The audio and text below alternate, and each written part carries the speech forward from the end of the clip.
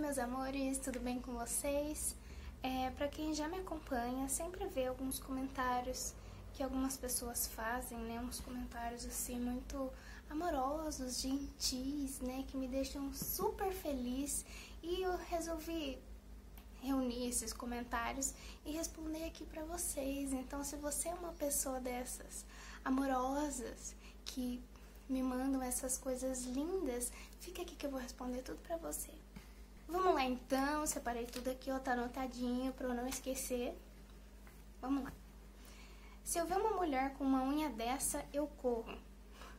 Cara, pode correr à vontade, que você não vai fazer nem um pouco de falta pra mim, tá? Tchau, vaza.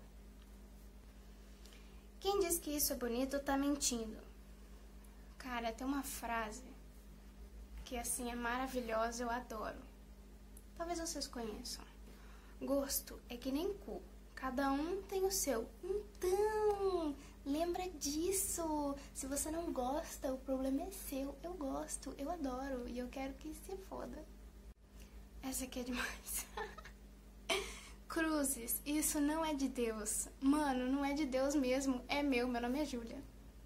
Medonha medonha a sua falta de, de, de, de, sei lá, cara, de, de bom senso. Por que, que você vai na foto de uma pessoa comentar assim, nossa, que coisa medonha? Cara, cuida da sua vida, para de ser chata, deixa eu aqui com as minhas unhas, pô. Parece esposa do Zé do Caixão. A gente, esposa não, né? Não tô tão velha assim, talvez filha, neta, né? Uma vez falaram que eu sou filha do Wolverine, cara, e gostei, achei legal. Parece galinha de granja. Adoro essas unhas de galinha de granja, maravilhoso. Agora sai daqui. Ridícula. Essa é a minha opinião e se não gostou, morra.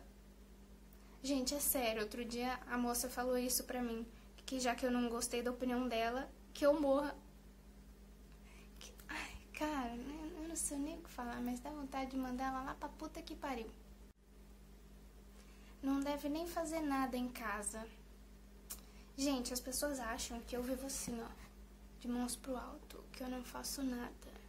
Gente, eu lavo louça, eu lavo a minha roupa, eu limpo a casa, eu cuido das minhas gatas, tá, gente? Que isso inclui pegar merda no chão, essas coisas. E a pessoa acha que, sei lá, mano, não é porque a sua unha quebra fácil que isso significa que eu não faço nada. Se a sua unha quebra só por causa do vento, o problema é seu, mas não fica despejando assim toda essa inveja em cima da gente, porque é chato. Para de ser chata. Bom, gente, é isso.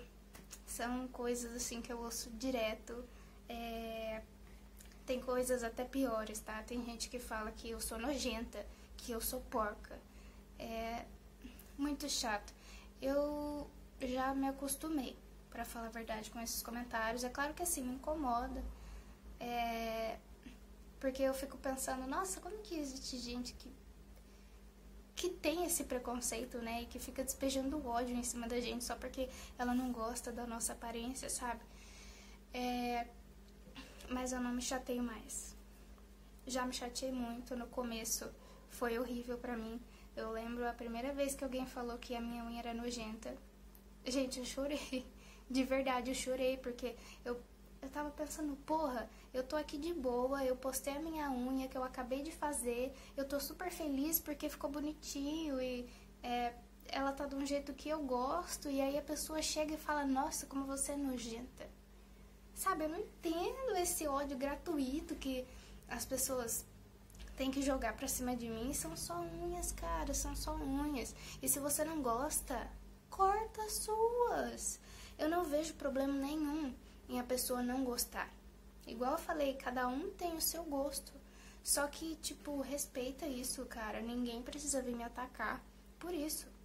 Sou um ser humano, né? Como todo mundo. Então, tem dia que eu tô bem, tem dia que eu não tô, tem dia que eu tô com paciência, tem dia que eu não tenho um pingo de paciência.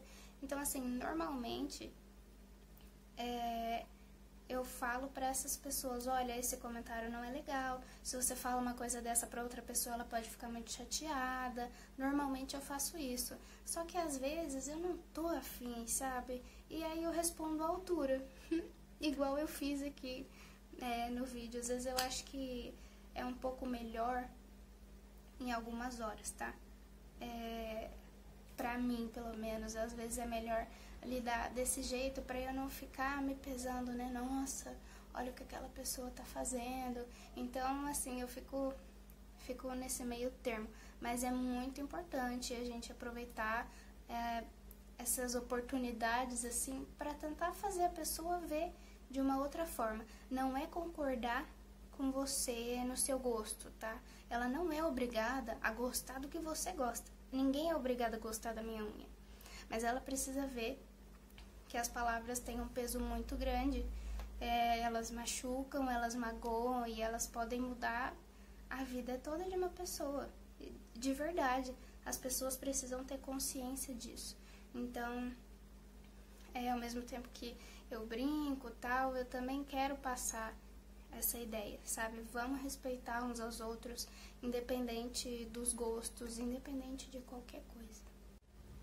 Então, para terminar, se vocês gostaram, se inscrevem aqui no canal, clique em gostei para me dar uma força. E como vocês podem ver, esse assim é o comecinho do meu canal.